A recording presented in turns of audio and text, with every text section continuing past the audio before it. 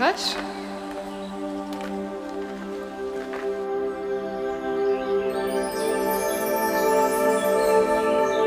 Das ist der Mann für mich. Ich liebe ihn. Husch, ins Bad, wir machen dich ein bisschen zurecht. Jetzt passt mal auf. Ich habe die ganze Nacht nicht geschlafen, weil ich an einem Kram gearbeitet habe. Im alten Wirt wollten wir alles noch mal durchgehen. Aber ihr habt es ja nicht nötig. Entschuldige. Ich hab's vergessen. Vergessen. Macht euren Mist in Zukunft alleine. Die von Plauens geben ein Gartenfest. Wenn Sie möchten, könnten Sie gerne mitkommen. Das wäre mir eine große Freude. Er bekannt durch seinen Segelsport und Sie ist eine große österreichische Mäzen, ich weiß. genau, da trifft sich alles, was in der Umgebung Rang und Namen hat. Wo, ah, da ist sie. Darf ich Ihnen vorstellen? Ich habe keinen Hunger mehr. Meine kleine Schwester Emma. Ja, Felix und ich, wir kennen uns schon. Emma, ihr seid wirklich Schwestern? Halbschwestern. Ja, Rosalie hat einen anderen Vater als ich. Rosalie. Schöner Name. Danke. Ähm, wollen Sie jetzt auf das Gartenfest mitkommen, oder? Ähm, gerne. Wenn Emma mitkommt.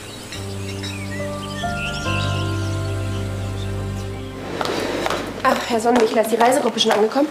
Nein, der Bus steckt immer noch im Stau fest. Weiß die Küche Bescheid? Ja, ja, natürlich. Das Mittagessen wird serviert, sobald die Herrschaften da sind. Was ist denn los? War was bei Ihrem Termin? Gab's Probleme? Ich hätte mich gar nicht drauf einlassen dürfen. Eine geschlagene Stunde stand ich umsonst vor dem alten Wirt. Auf wen haben Sie denn gewartet? Die ganze Nacht habe ich mit dieser Präsentation verbracht, weil es angeblich alles total wichtig war. Von wegen, anstatt sich mit mir zu treffen, wie es vereinbart war, haben die Herren nichts Besseres zu tun, als sich mit irgendeinem Innenarchitekten zu treffen. Welche Herren denn? Simon und sein Vater. Was haben die beiden mit einem Innenarchitekten zu tun?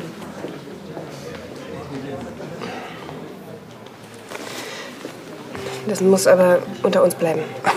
Frau Tarasch, Diskretion ist mein Beruf. Sie haben doch sicher mitbekommen, dass der alte Wirt mal zu verpachten ist. Ja? Simon und sein Vater wollen das Gasthaus übernehmen Den alten Wirt? und ein Gourmet-Restaurant draus machen. Na gut, dass ich das auch erfahre. Woher wissen Sie das? Von Simon. Ist mein Bruder im Haus, Alphons. Tut mir leid, Herr Direktor, ich weiß es nicht. Auch das noch. Auszugehen. Warum? Das Angebot von Herrn Tarasch ist die Chance. Auf dem Fest kann man wichtige Leute kennenlernen und nebenbei noch jede Menge Spaß haben. Du, ich mache mir nichts aus solchen Festen. Emma, das ist ein Gartenfest bei Juliane und Konstantin von Plauen. Und wenn's Kaiserin Sissi persönlich wäre, es interessiert mich nicht. Okay, darf ich mal ganz kurz was sagen? Ich habe sowieso nur zwei Einladungskarten. Ja, also, keine Sorge, ich verzichte gerne. Geh du nur und mach deine Kontakte. Emma, wohin gehst du denn? Wir wollten doch noch essen. Also ich kann mir nicht vorstellen, dass es ein Problem sein sollte, Emma mit aufs Fest zu nehmen. Eigentlich wollte ich Sie mit aufs Fest nehmen, damit Sie Ihre Kontakte knüpfen können. Ach, in München komme ich auch auf jeden Event, egal ob ich eine Einladung habe oder nicht. Das Gartenfest der von Plauens ist nicht irgendein Event. Wir werden schon sehen. Und übrigens, den Tisch für Emma und mich, den können Sie anderweitig vergeben. Wir sehen uns dann später. Um sieben vom Hotel. Um sieben.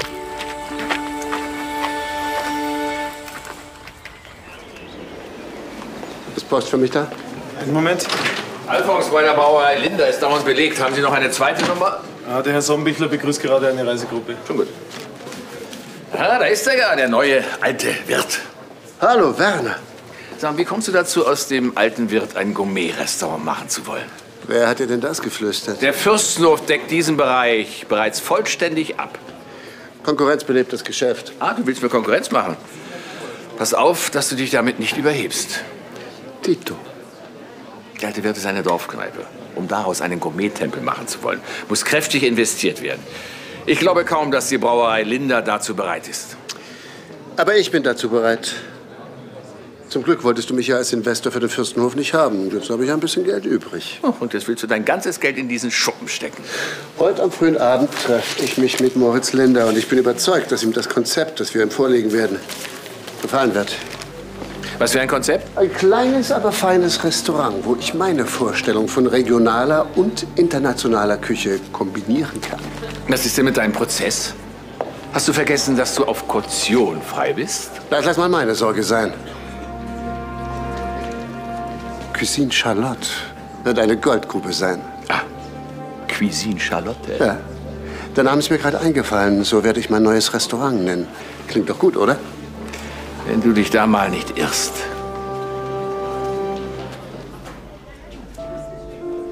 Wie er Rosalie die ganze Zeit angeschaut hat. Das ist eindeutig. Felix hat sich in sie verknallt. Und wie erleichtert er war, als ich gesagt habe, dass ich nicht mit auf das Gartenfest gehe. Natürlich hat's Rosalie nun gut gemeint. Aber ich habe keine Lust, das fünfte Rad am Wagen zu sein.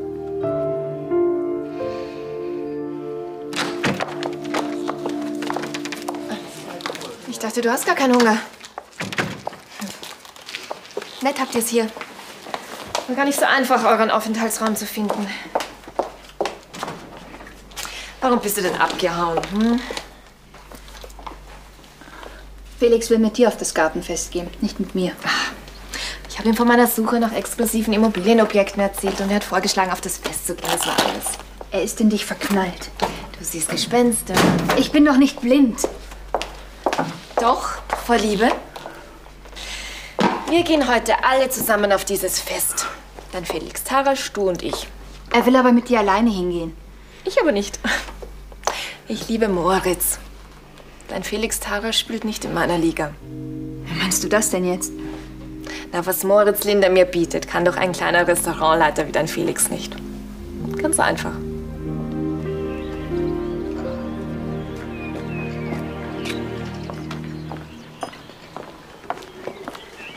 Charlotte? Ganz allein? Alfons, Äh, darf ich mich einen Moment zu dir setzen? natürlich. Ah, das tut gut. Ich habe gerade eine 30-köpfige Reisegruppe begrüßt. Die sind stundenlang im Stau gestanden, aber jetzt sind sie da und erstmal versorgt. du, apropos, hast du was von Samir und Gregor gehört? Sind die gut in Afrika angekommen? Ja, ich habe vorhin mit Samir telefoniert. Ja, die zwei. Die zwei werden mir wirklich fehlen. Aber es ist gut, dass sie sich um Elisabeths Projekt kümmern. Ich bin froh, dass du immer im Fürstenhof geblieben bist.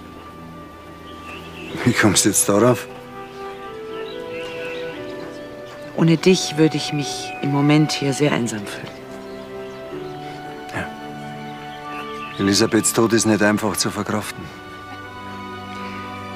Außer unserer Freundschaft, Alfons, hält mich hier eigentlich nichts mehr. Und Werner? Wenn ich ehrlich bin, haben wir nicht mehr sehr viel gemeinsam. Und was ist mit deinem Schwager? Ich hoffe, er lässt dich jetzt in Ruhe. Ich gehe ihm konsequent aus dem Weg. Und ich hoffe, dass er irgendwo anders ein neues Leben beginnt. Das wird er wohl nicht tun. Da muss ich dich enttäuschen.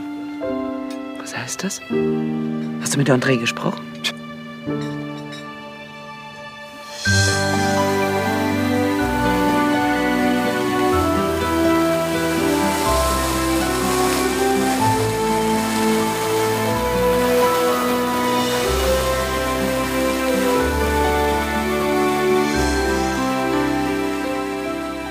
Aber wenn ein Freund so gute Kontakte hat, warum gehst du dann nicht mit ihm auf das Gartenfest?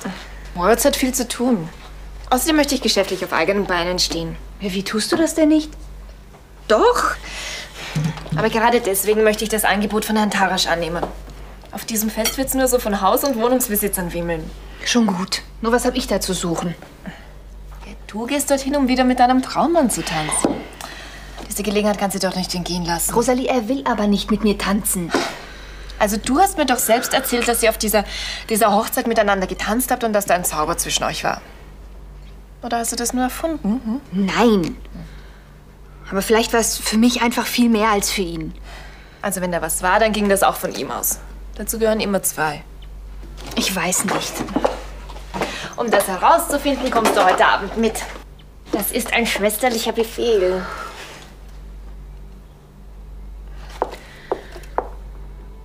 Na gut.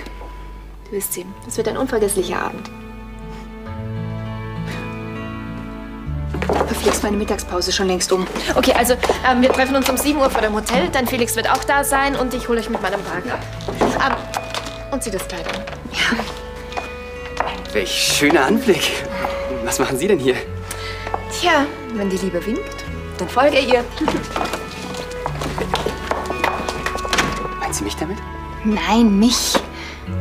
Du, kann ich so auf das Fest der von Plauens gehen, ohne mich zu blamieren? Die Party der von Plauens? Ja. Hast du dafür etwa eine Einladung bekommen? Rosalie will mich mitnehmen, auch ohne Einladung. Da kann man doch ohne Einladung hin? Naja, es wird schwierig werden. Denkst du, dass das Kleid geht? Absolut, also mit dem Kleid und mit mir als Begleitung, da kommst du überall rein. Du bist aber nicht meine Begleitung. Was sagst du, mit oder ohne Krawatte? Was ist das denn für ein Blödsinn? Da züchtet doch tatsächlich ein Bauer im bayerischen Wald Strauße. Demnächst macht er noch eine Krokodilfarm auf. Was liest du denn da? Bayerischer Landbote. Immer mehr von meinen Bauernkollegen kümmern sich jetzt um dieses exotische Viehkram, statt Kühe zu halten wie wir früher. Schön, die werden schon ihre Gründe haben. Also mit oder ohne? Ja, Geldgier. Was denn sonst? Vielleicht folgen Sie doch den Gesetzen der Marktwirtschaft, wie man so schön sagt. So, was soll das für ein Markt sein? Wozu brauchst du eine Strauße? Straußenfleisch schmeckt lecker. Willst du es jetzt etwa auf die Speisekarte setzen? Aber das eine sage ich dir. Solange ich Miteigentümer vom Fürstenhof bin, kommt das nicht in Frage. Das sind ja ganz neue Töne. Ich dachte, du wolltest dich in die Geschäfte des Fürstenhofs einmischen. Mein Herz hängt an der Natur, das weißt du doch. Und nicht an den Geschäften. Und natürlich an dir. Fest schaust du aus. Du wirst die Blicke aller Frauen auf dich ziehen. Ich gehe nicht allein auf das Fest. Aha. Äh, Geht Viktoria jetzt doch mit? Nein, ich, äh, ich habe jemanden kennengelernt. Eine neue Kollegin. Rosalie. Ist die Halbschwester von Emma. Arme Emma. Vater, Emma und ich sind einfach nur gute Freunde. Und ich bin ihr wirklich dankbar, dass sie dich vor einer großen Dummheit bewahrt hat. Felix, du weißt, Emma ist ein richtiger Sonnenschein. Emma ist ein nettes Mädchen. Mehr nicht. Ja?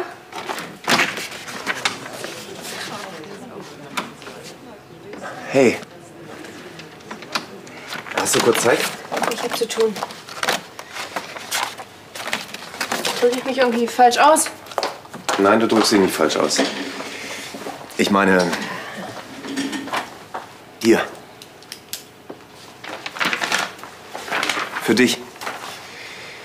Dafür, dass du mir das Restaurantkonzept nicht um die Ohren gehauen, sondern nur für die Füße geschmissen hast. Ich hätte es besser verbrennen sollen. Ach Quatsch. Victoria, es ist wirklich großartig geworden. Mein Vater und ich wissen gar nicht, wie wir dir danken sollen. Bestimmt nicht, indem ihr mich vergesst und stundenlang warten lasst. Ich weiß, das tut mir auch wirklich leid. War's das? Wenn wir den Zuschlag für den alten Wirt bekommen, dann ist es wirklich nur dein Verdienst. Wir treffen nachher den Besitzer von der Brauerei, Moritz, Moritz Linder. Kennst du den? Vom Namen her, ja. Genau. Ich bin mir sicher, mit deinem Konzept in der Hand, dann werde ich ihn überzeugen, dass wir die richtigen Pächter sind für den alten Wirt.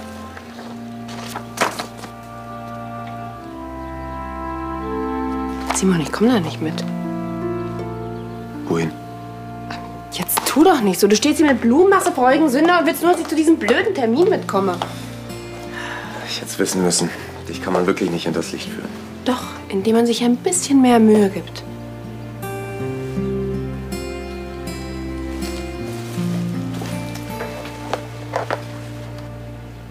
Nimmst du wenigstens meine Entschuldigung an?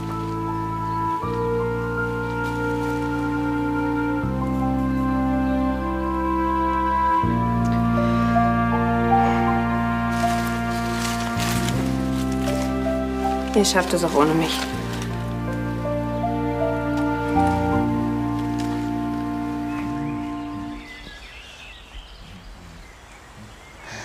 Wo Rosalie wohl bleibt? Tja. Parkt sie auf dem Hotelparkplatz? Möglich? Was ist? Schönes Kleid.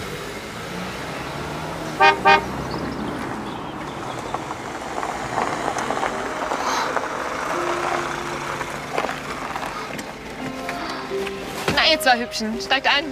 Hallo. Ähm, ich gehe nach hinten. Ich bin kleiner. Okay. So ein tolles Auto. Wie kannst du dir denn sowas leisten? Das hat mir mein Freund geschenkt. Hm, gute Partie. Ja, Rosalie ist in festen Händen. Vor allem in guten.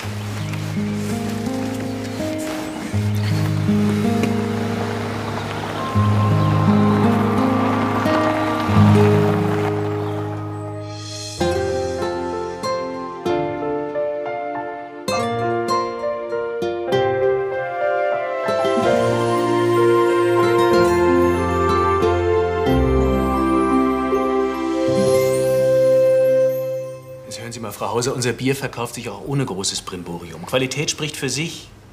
Ist gut. Was? Mir san mir. Ja, großartig, Frau Hauser. Gratuliere. Ja, so sagt man das auf Bayerisch. Manche meiner Mitarbeiter verstehen die Philosophie unserer Brauerei nicht. Mein Sohn und ich hoffen sehr, dass wir Ihren Geschmack getroffen haben. Ja, wir wollen den Charme des alten Wirtshauses beibehalten und ihn mit neuen Ideen kombinieren. Gourmetküche in authentischer Umgebung mit Produkten aus der Region, das klingt sehr gut. Qualität, Geschmack und Tradition. Genau, in gemütlicher Atmosphäre, nicht in einem hellen, kalten Wartesaal. Wo sich der Gast wie auf der Schlachtbank fühlt. Genau. Ja, das wird sowohl Gäste aus der Region anziehen, als auch das Publikum aus München. Ihre Küche habe ich schon mal probiert. Im Fürstenhof bei einer Tagung. Das war sehr gut. Das freut mich sehr. Wichtig für uns ist, dass unser Betrieb traditionell und auf hohem Niveau geführt wird. Gibt es denn viele Interessenten für den alten Wirt? Genügend. Und wie stehen unsere Chancen? Ich werde mir Ihr Konzept noch mal in Ruhe zu Gemüte führen und Sie dann anrufen. Leider muss ich jetzt schon zum nächsten Termin. Ich bin froh, dass ihr heil angekommen seid. Sag mal, Gregor, haben sie dich schon zum Medizinmann ernannt? ich, ähm, ich stehe hier unter einem Baum mitten im Dorf und warte auf Emma und ihre bildhübsche Schwester. Wir gehen zusammen auf ein Gartenfest. Dein Traummann langweilt sich ohne dich. Ich hätte dir Rose alleine kaufen sollen. Du, er hasst es, wenn man zu aufdringlich ist. Hast du das denn schon ausprobiert? Was? Na, aufdringlich werden. Gregor, ich habe Rosalie gesehen und ich sag's dir, es war passiert. Aber die ist leider liiert. Ja, das sagst du so leicht. Nein. Ich glaube, ich muss aufhören, die beiden kommen wieder zurück. Ja, ich halte dich auf dem Laufenden. Bis dann. Ciao. Das Gartenfest ist deine Chance. Ja, wenn ich überhaupt reinkomme. Ach ja, du gibst dem Typen am Eingang die Rose, den Rest ja ich. Das wird schon klappen. Ach ja, Moritz erfüllt mir wirklich jeden Wunsch. Ich will auch mal so einen tollen Freund haben. Den wirst du schon noch bekommen, Emma.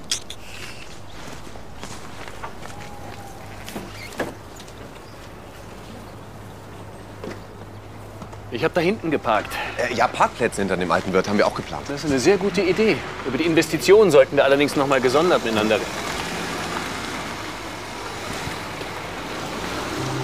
Das darf ja wohl nicht wahr sein. Hallo Charlotte. Darf ich oder erwartest du jemanden? Ja, den Kellner. Ich habe nämlich unbändige Lust auf etwas Süßes. Ja, so eine kleine Seelentröstung könnte ich auch gut gebrauchen. Vor allem, wenn ich nicht bald einen neuen Koch finde. Spitzenköche wie Robert oder André sind leider nicht so schnell zu finden. Wäre es wohl möglich, dass ich ein Parfait Charlotte bekomme? Moment, möchtest du auch eins? Nein, danke. Äh, dann nur für mich, bitte. Deine Beziehung zu meinem Bruder war zwar nur von kurzer Dauer, aber sein schlechtes Benehmen hast du trotzdem schnell gelernt. Ich wollte dir nur ein Stichwort geben, damit du über André lästern kannst. Ach, und deswegen bestellst du in meiner Gegenwart dieses Parfait, das André extra für dich kreiert hat? Findest du das nicht geschmacklos? Über Geschmack lässt sich streiten. Über den alten Wirt wohl kaum. Du bist über Andres Pläne informiert?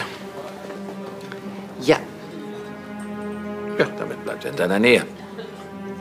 mir gefällt diese Idee ganz und gar nicht. Aber wenn du glaubst, dass ich mich da jetzt einmische, dann hast du dich geirrt. Wir müssen das verhindern. Ihr könnt es nicht lassen, euch das Leben gegenseitig schwer zu machen. André macht mir das Leben schwer, wenn ich dich korrigieren darf, ja? Wer wem den schwarzen Peter zuspielt, ist mir egal. Ich bin aus dem Spiel raus.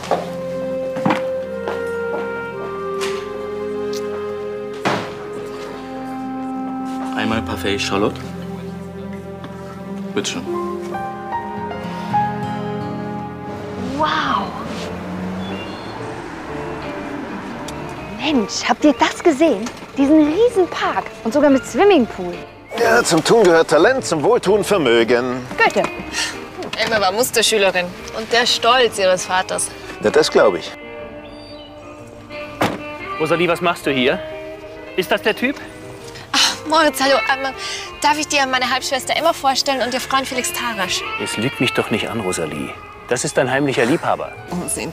Du bist mein Liebhaber, sonst niemand. Ich habe genug von deinen Spielchen. Ich lass mich nicht mehr länger von dir zum Affen machen. Du wolltest doch eine Zeit lang deine Ruhe haben, nicht ich. Und du hast schon wieder einen völlig überteuerten Fummel bei Sonja gekauft. Ich wollte Emma eine Freude machen. Damit ist jetzt Schluss. Jetzt beruhig dich doch, das ist alles nur ein Missverständnis. Ich liebe dich. Du weißt doch gar nicht, was das ist.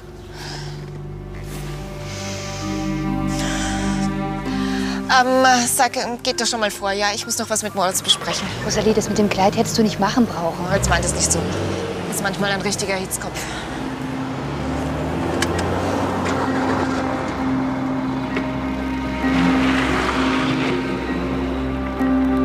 Ups. Sieht nach einer leichten Beziehungskrise aus.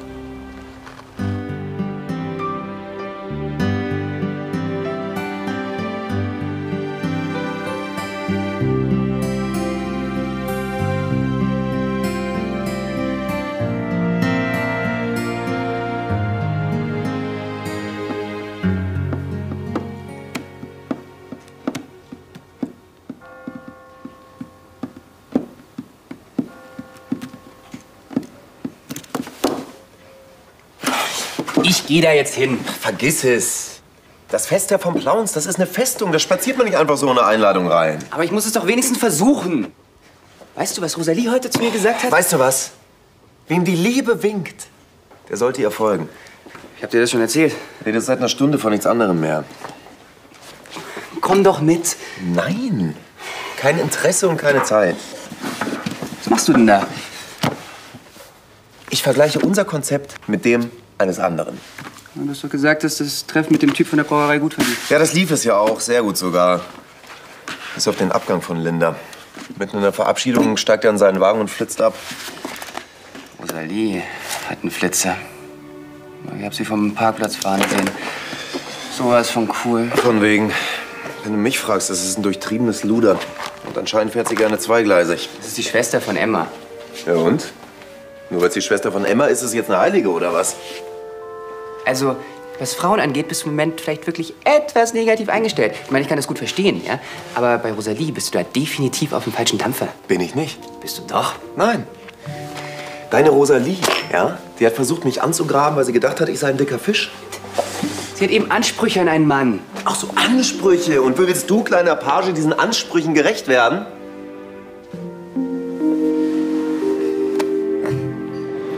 Hättest noch auf dem Fest bleiben sollen. Das Feuerwerk wird bestimmt großartig. Ich ähm, hätte mich da alleine nicht wohlgefühlt. Außerdem wäre Rosalie bestimmt nicht mehr gekommen. Ja, den Anruf aus dem Restaurant konnte ich leider nicht ignorieren. Ja, ist schon klar. Wenn es Probleme gibt, dann musst du natürlich nach dem Rechten sehen. Tja, also, ähm, schönen Abend noch immer. Äh, äh, äh, meinst du, du wirst lange brauchen? Äh, also, äh, heute Abend ist Tanz auf dem Heuboden im Dorf. Und das soll immer ganz lustig sein. Also, nicht so steif wie äh, das Gartenfest gerade, ja. Also, wenn du das Problem in den Griff bekommen hast, dann könnten wir noch hingehen. Andermal vielleicht. Okay. Aber mit Rosalie wärst du hingegangen, oder?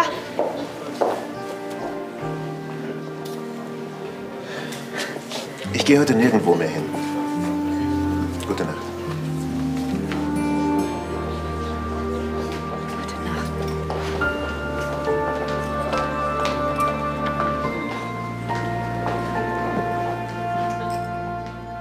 Das müsste mir auch mal passieren, dass mir die Frauen hinterherlaufen.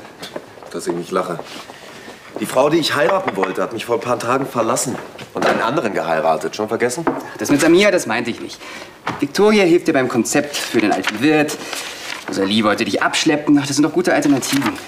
Ich habe aber noch eine bessere Alternative. Meine neue Liebe, ja? Das wird mein eigenes Restaurant, das ich zusammen mit meinem Vater eröffne. Komm, das ist doch nicht dein Ernst. Weißt du, wenn du mir vor ein paar Wochen erzählt hättest, dass ich meine Zukunft in einem Projekt mit meinem Vater sehe, ich hätte dich für verrückt erklärt. Du wärst mir in die Gurgel gegangen. Aber irgendwann im Leben muss man wissen, wohin man will. Ich habe Wein gemacht in Australien, ich war Sommelier, Barbesitzer, jetzt Geschäftsführer. Aber ein eigenes Gourmet-Restaurant, das, das ist nicht nur ein Job. Das ist eine Aufgabe. Karriere ist nicht schlecht. Genau. Und darauf konzentriere ich mich jetzt. Vielleicht sollte ich das auch mal tun.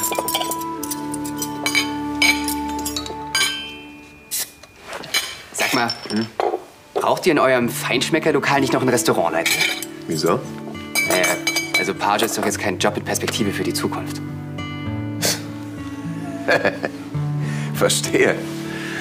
Du willst den Ansprüchen von Madame Rosalie gerecht werden und dich bei uns als Restaurantleiter bewerben, stimmt's?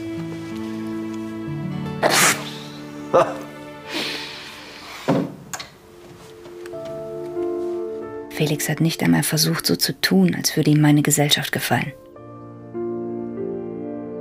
Wenn Rosalie da gewesen wäre, dann wäre ihm das Problem mit der Schankanlage im Restaurant bestimmt egal gewesen. Ich lösche seine Nummer. Das ist das Beste. Felix will nichts von mir. Er hat nur Augen für Rosalie. Das sieht doch ein Blinder mit Krückstock. Hoffentlich trennt sich Rosalie nicht von ihrem Freund. Was der ihr heute an den Kopf geworfen hat, das war echt schlimm. Aber wie cool meine große Schwester dabei geblieben ist. Sie hätte sich von Felix nicht so einfach abschütteln lassen. Sie hätte ihn so lange bearbeitet, bis er mit ihr auf den Heubodentanz gegangen wäre.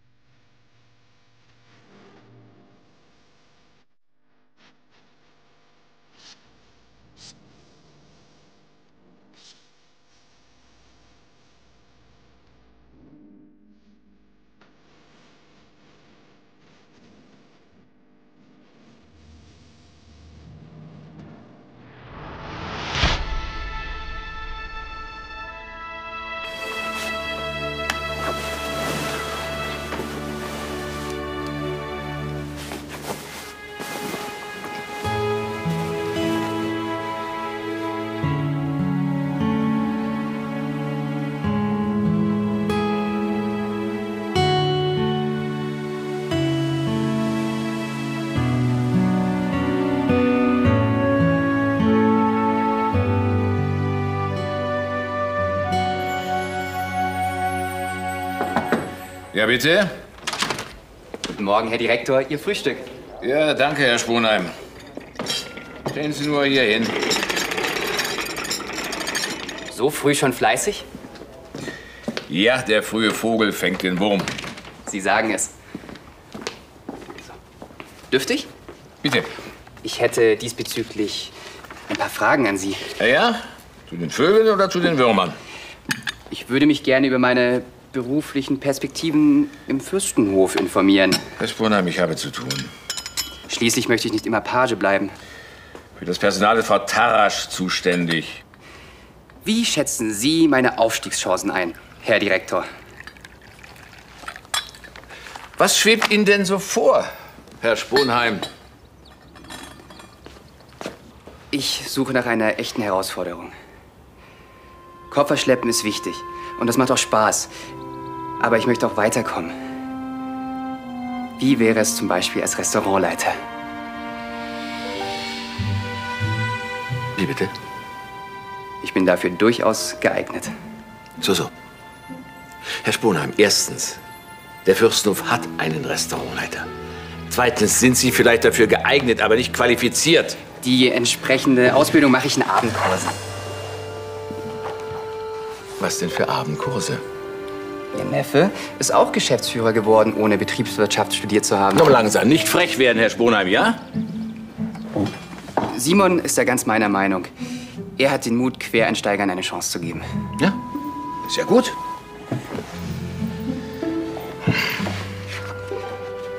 Dann werde ich das Angebot annehmen. Was denn für ein Angebot? Ich habe Ihnen keines gemacht. das von Simon und seinem Vater. Ich fange in dem Gourmet-Restaurant als Restaurantleiter an.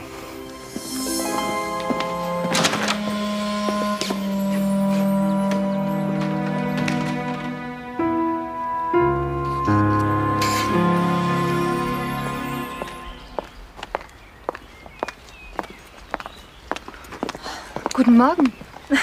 Na, das sieht aber nicht so aus, als ob du große Lust hast zu arbeiten. Du treibst schon so früh Sport? Täte dir auch gut. Ist mit deinem Freund und dir wieder alles in Ordnung? Tut mir leid, dass ich dich und dann an Felix allein lassen musste. Hattet ihr einen schönen Abend? Ging so. Habt ihr getanzt? Dein Freund war ganz schön wütend gestern. Oh ja. Moritz hat da was total missverstanden. Aber nach jedem Streit gibt es wieder eine leidenschaftliche Versöhnung. Leider konnte ich Moritz nicht mehr dazu bewegen, noch mit aufs Fest zu gehen. Ja, hier, das Kleid geben wir wohl besser zurück. Immer, das ist ein Geschenk. Nein, nein. Moritz wünscht dir viel Spaß damit. Er meinte übrigens, dass du bezaubernd darin aussiehst. Dafür muss ich mich aber bei ihm bedanken. Schläft er noch? Ach, er ist schon längst wieder in München.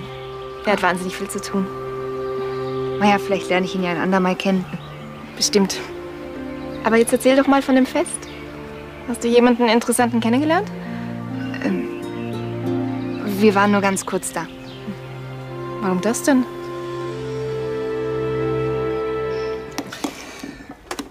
Rosalie ist der Wahnsinn. Die ist elegant, charmant, die ist, die ist wunderschön. Sag mal, kann es sein, dass du dich verliebt hast? Ich habe dir doch erzählt, dass ich, dass ich Miriams Parfum in der Lobby gerochen habe. Rosalie trägt es. Sie hat nicht zufällig Ähnlichkeit mit Miriam. Äh, ein bisschen. Ich weiß eigentlich überhaupt nichts über sie, außer dass sie liiert ist. Du weißt eigentlich überhaupt nichts über sie, außer dass sie liiert ist? Okay, wolltest du nicht Simon trösten? Ich brauche ihn nicht trösten. Er hat vor, mit seinem Vater ein Restaurant zu eröffnen. Ein Restaurant? Und du machst die Innendekoration. Nein, ich, ich hatte einfach das Gefühl, etwas ändern zu müssen in der Wohnung. Hier, in dieser, unsere Wohnung. Ja, hast du was dagegen? So ein bisschen mehr Eleganz und Charme können nicht schaden, falls Rosalie mal zu Besuch kommt. Also ich finde die Wohnung ganz okay. Das Einzige, das mich stört, ist das Sofa. Na, mal schauen, was sich da machen lässt.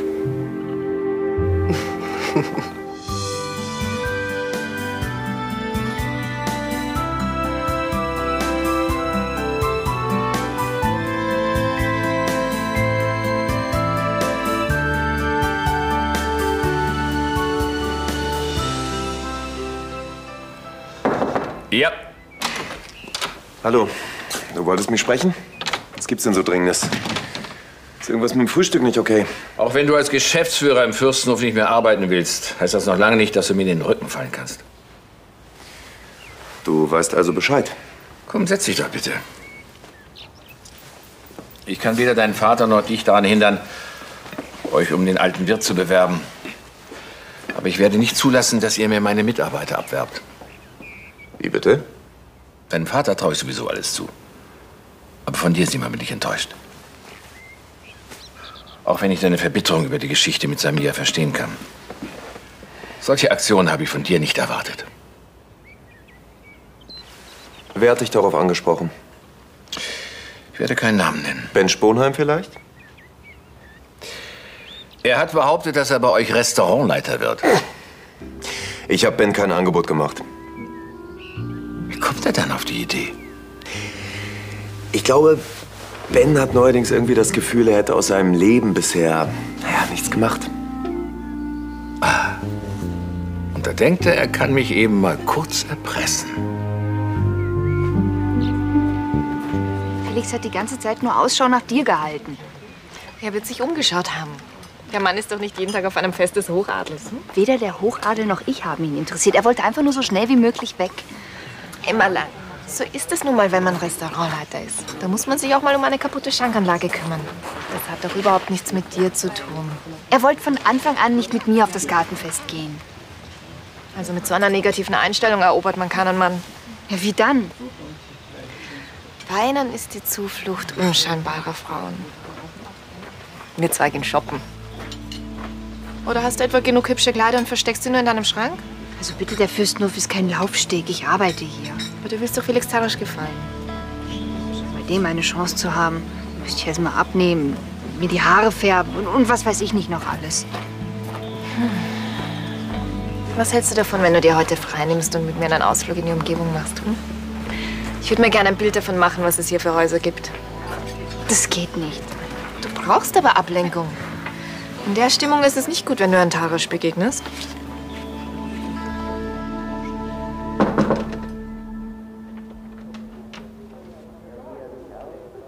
Felix?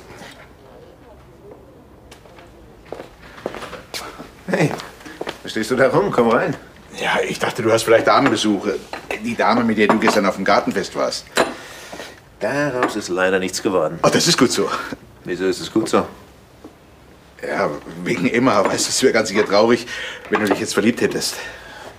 Ich weiß, es geht mich nichts an. Dann misch dich da bitte auch nicht ein. Das ist einfach so eine dumme Angewohnheit von mir. Aber Emma und du, ihr werdet einfach ein schönes Paar.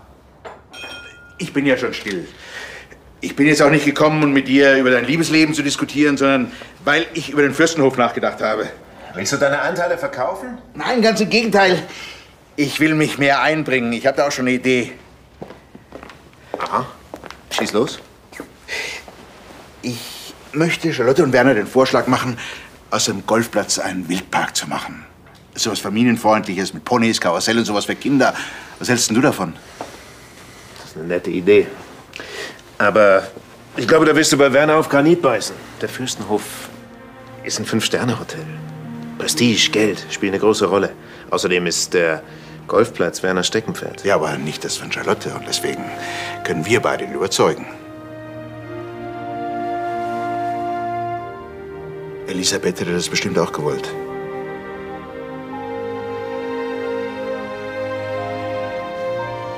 Dann versuch's.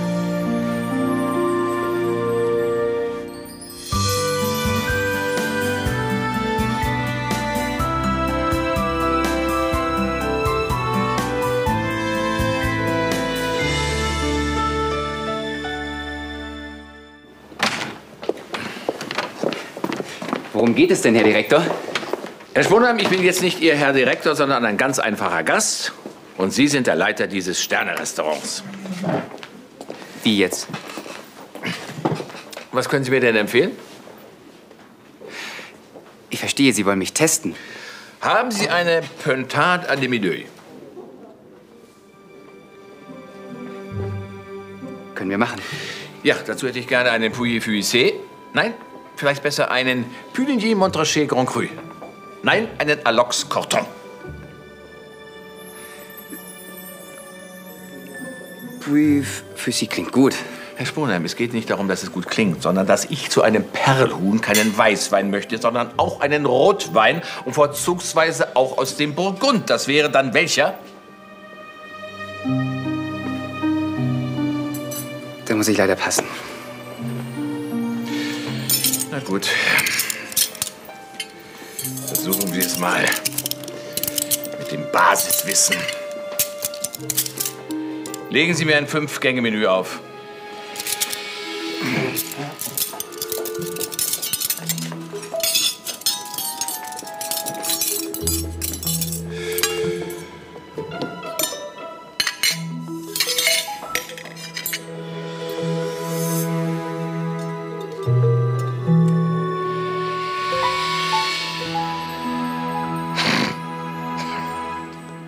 Können einen wirklich gut demotivieren, Herr Direktor. Sagen wir es einfach, Herr Sponheim, Sie haben keine Ahnung.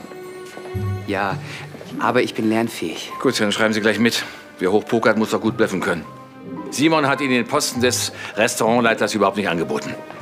Sie dachten, Sie könnten mich mit Ihrer dreisten Lüge unter Druck setzen und so Karriere machen. Ich wollte einfach nur weiterkommen. Nichts dagegen einzuwenden, dass Sie versuchen, sich einen Mantel anzuziehen, der Ihnen ein paar Nummern zu groß ist. Aber dass Sie diesen Mantel auch gleich klauen wollen, das disqualifiziert Sie endgültig.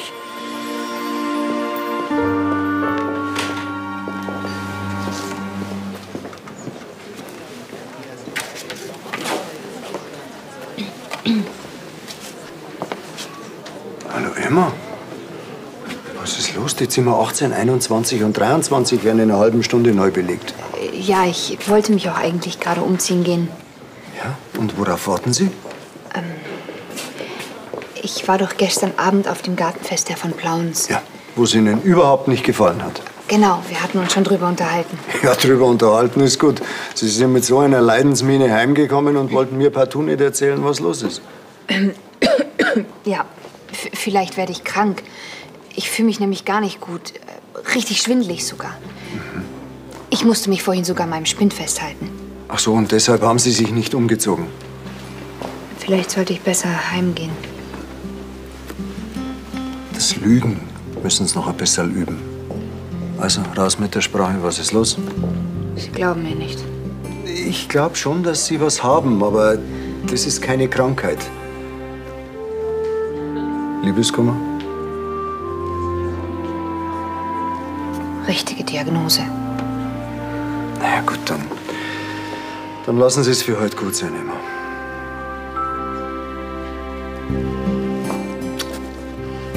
Emma? Ausnahmsweise.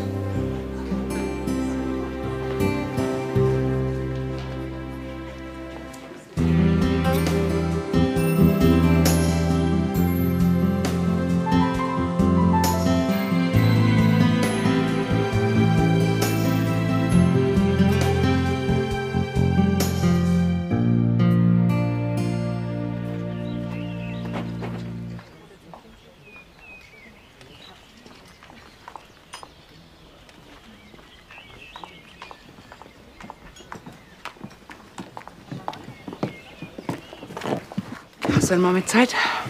Charlotte, für dich immer. Setz dich doch. Du willst also den alten Wirt übernehmen. Ich habe dir ja gesagt, dass ich ein Gourmet-Restaurant draus mache. Mit regionaler Küche. Ich bin gerade dabei, ein neues Konzept zu erarbeiten. Hältst du das für eine gute Idee, hier zu bleiben? Ich liebe dich. Und ich bin in deiner Nähe. Und mein Restaurant wird deinen Namen tragen. Cuisine Charlotte. Das kommt überhaupt nicht in Frage. Du und Werner werdet eure Hahnenkämpfe nicht in meinen Namen austragen. Kein Problem. Ich werde einen anderen Namen finden. Wichtig ist, dass du mir vergibst und wieder mit mir sprichst. Ich kann nicht mehr ohne dich leben. Der Fürstenhof wird sich gegen dein Restaurant behaupten. Davon bin ich überzeugt.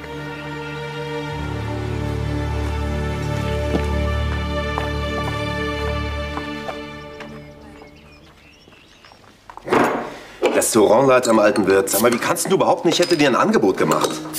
Meinst du also auch, dass ich dafür nicht tauge? Ich meine vor allem, dass es sofort auffliegt. Das glaubt dir auch kein Mensch. Warum eigentlich nicht? Bin ich zu blöd dafür, oder was? Ja, darum geht's doch überhaupt nicht. Du hast meinem Onkel die Hucke vollgelogen, das ist der Punkt. Ich war sauer, weil er mich so abgebügelt hat. Ist mir halt dann rausgerutscht. Kannst mal Felix Tarasch fragen, was da für eine Ausbildung dahinter steckt. Das ist kein Job, den man einfach so aus dem Ärmel schüttelt. Das weiß ich jetzt auch. Was ist denn eigentlich los mit dir?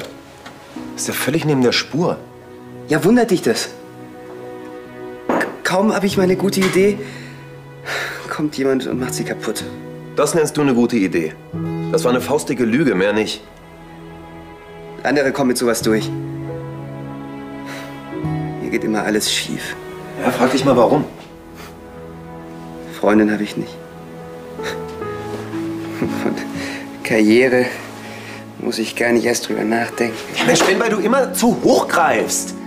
Als Freundin wolltest du 400 Mark, bei Job denkst du direkt an Restaurantleiter. Probier's doch mal ein bisschen kleiner, Komm, Mensch. sag's doch gleich laut und deutlich. Ich bin ein Versager. Quatsch. Aber damit ist jetzt Schluss. Schluss mit der Jugend. Jetzt bin ich erwachsen. Ja, sich betrinken ist super erwachsen. Kann das eigentlich sein, dass du da schon wieder dabei bist, ein bisschen zu hoch zu greifen? Wieso? Veranstaltest du dieses ganze Karrieretheater vielleicht für eine gewisse junge Frau namens Rosalie? Hm? Nein. Ich habe begriffen, dass es so nicht weitergeht. Ich muss mein Leben ändern. Herr Sonnenwichler ist so ein Schatz. Ich muss die Schicht nicht einmal nachholen. Und was ist mit mir? Schließlich war der Ausflug meine Idee. Du, du bist ein Goldschatz. Du, ich weiß, wo es einen romantischen See gibt. Wollen wir dahin fahren? Machen wir. Aber zuerst zeigst du mir die Villa, von der du mir erzählt hast. Ja. Das ist der Wagen. Sind Sie sich sicher? Ja, das ist mein Auto. Grüß Gott. Frau Engel? Ja? Da ist dein Freund.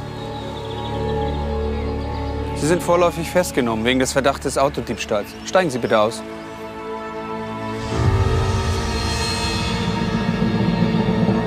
Sie meinen also, ich wäre schlecht beraten, wenn ich mich auf Ihren Bruder als Pächter einlasse. Reiner Freundschaftsdienst unter Kollegen.